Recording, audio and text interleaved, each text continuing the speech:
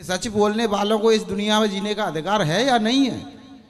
देखिए, सच के ऊपर विश्वास होना चाहिए।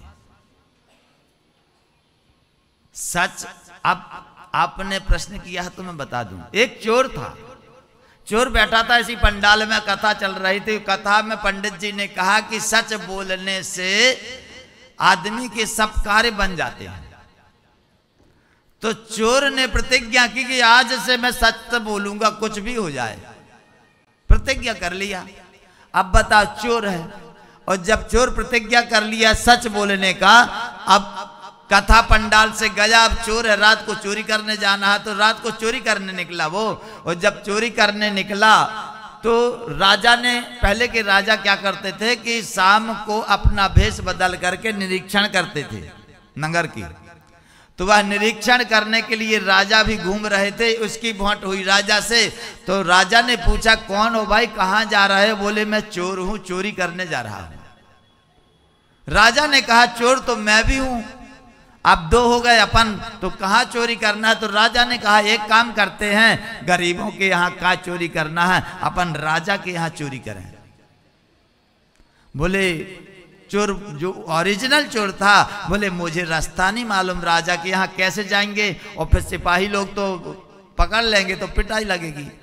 बोले, वो सब मैं बताऊँगा तुमको, उपाय हमको सब मालूम है। राजा ने कहा, बोले, ठीक है तो अगर आपको सब मालूम तो ठीक है, चलो।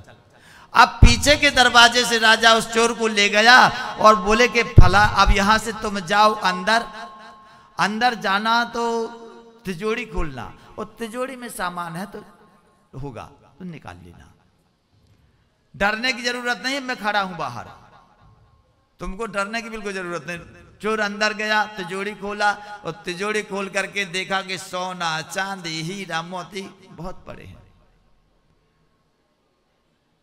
उसने देखा एक छोटी डिब्बी में पाँच हीरा थे।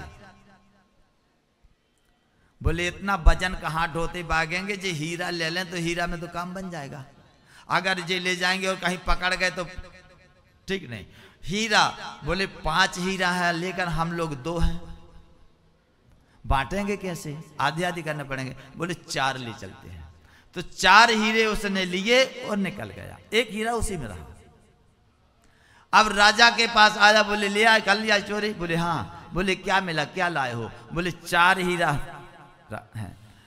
तो बोले, उसमें चार ही थे? नहीं। बोले, चार नहीं थे, पाँच थे। तो पूरे क्यों नहीं लाए? बोले, बांटते नहीं बनता, अपन कैसे बांटते?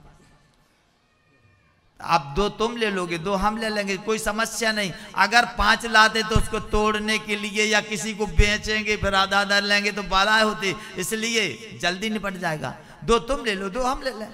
तो दो हीरे राजा को दे दिया और दो अपना ले लिया, चोर चोर घर चला गया और राजा अपने घर चला गया। अब जब प्रातः काल हुआ सुबह तो पता चला कि राजा के यहाँ चोरी हो गई। राजा ने अपने मंत्री को बुलाया। बोले देखो क्या पुलिस उलिस। अब उसने तो प्रतिज्ञा की थी, कि मैं झूठ नहीं बोलूँगा। जब तहलका मत गया कि राजा के यहाँ चोरी हो गई तो किसी ने उससे पूछ दिया कि क्यों भैया? तू तो नहीं चुराया? क्योंकि चोर तो चोर होता है ना?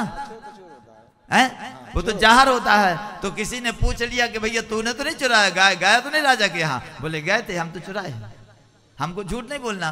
तो जब उसने बता दिया कि हम तो गए हम चुरा के लाए हैं। अब हवा चली तो सिपाहियों की तक बात चली गई। सिपाही आए, पकड़ के ले गए। राजा भी वहाँ। अब सिपाहियों ने कहा कि तुमने चोरी की?